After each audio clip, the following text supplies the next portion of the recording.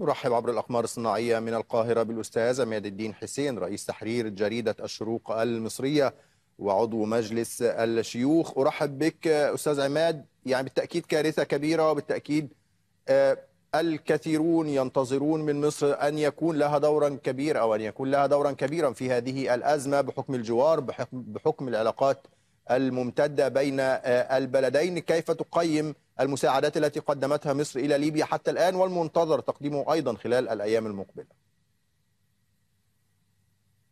السلام عليكم ورحمة الله وبركاته. تحياتي لك ولكل السادة المشاهدين. أظن أن مصر تحركت بسرعة ملحوظة آه، في هذه المأساة الإنسانية آه، الضخمة وغير المسبوقة التي تعاني منها الشقيقة ليبيا.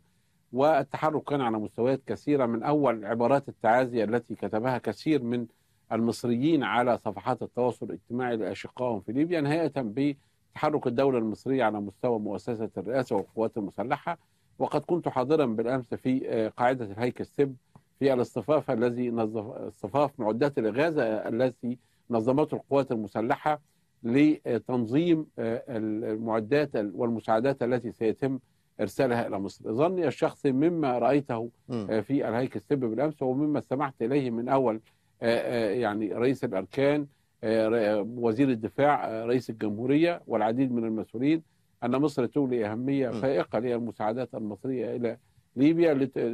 هذا واجب قومي بطبيعة الحال صحيح. وتحرك إنساني طبيعي. ليبيا دولة جوار 1200 كيلو متر علاقات مصهرة ونسب واخوه متشعبة في كل مكان وبالتالي ده تحرك طبيعي. الحجم يعني مصر على سبيل المثال قررت إرسال حاملة الطائرات أو المروحيات المسترال إلى ليبيا نعم. تحمل العديد من المواد الغذائية. ستتحول جزء منها إلى مستشفى ميداني ومكاتب إدارية حتى تخفف العبء عن الإخوة في ليبيا بحيث أنها تعمل مباشرة من مصر إذا تسير على مسارين أستاذ عماد فضلت البداية بداية الحديث معك فيما يتعلق بالمساعدات بحكم موقعك يعني في مجلس الشيوخ وأيضا ككاتب صحفي ورئيس تحرير الشق الأول يتعلق بالمساعدات لليبيا والشق الآخر يتعلق بالمساعدات والإعانات المقدمة للمصريين الذين قضوا في هذه